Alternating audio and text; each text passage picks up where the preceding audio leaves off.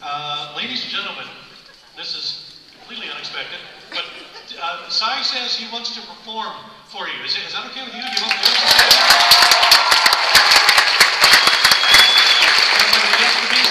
Okay, go for it. Uh, ladies and gentlemen, it's like change of program plans. Cy.